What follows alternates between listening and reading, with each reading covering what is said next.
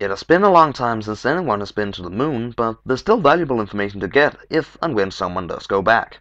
Mark Robinson and Brett Denevi from Arizona State University and Johns Hopkins University, respectively, found out that the moon has a lot of titanium deposits.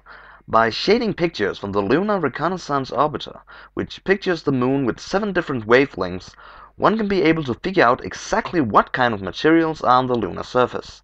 This is possible because different materials absorb light differently. These pictures show that the moon is filled with titanium deposits, many more than previously thought. This whole project started with the Apollo 17 landing site. The Hubble telescope was used to survey the area of the Apollo 17 landing site, and there they found spots that looked like they could be titanium deposits, which samples from the landing site has proven is correct.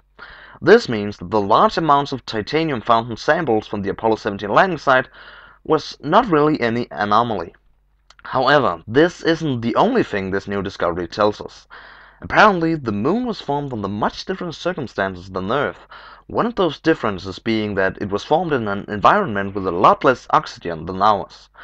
It also turns out that titanium is really good at absorbing specific elements of solar winds, including helium and hydrogen, so these huge titanium deposits could most definitely become a huge fuel source in the future. So, what does this mean?